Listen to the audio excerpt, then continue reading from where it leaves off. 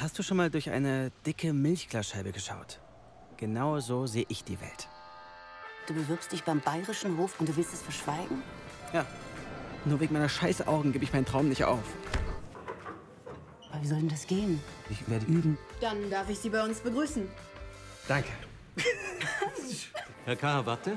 Mein Name ist Fried, ich bin der Personalleiter hier. Entschuldigen Sie, Max Schröder. Unser Termin war vor über einer Stunde.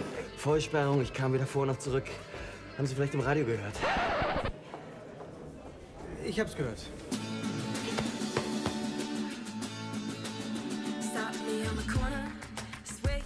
Ich schätze Sie als ehrlichen Menschen ein. Ich freue mich, Sie bei uns im Team begrüßen zu können. Danke. Keiner hat was gemerkt. Die haben die ganze Zeit gedacht, dass ich ganz normal sehen kann.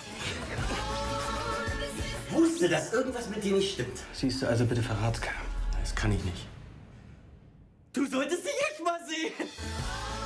Links sechs Stufen. Sorry, sieben Stufen. Aua! Ich bin übrigens Hani. Hier, Frühstück ist da. Sieht das nicht verführerisch aus? Sehr verführerisch.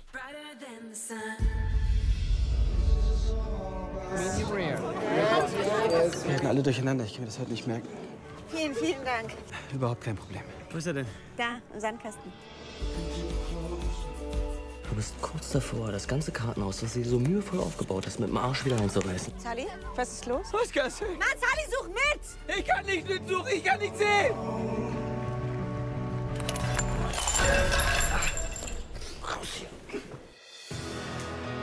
Das war immer mein Plan. Lassen Sie mich zeigen, dass ich es schaffen kann.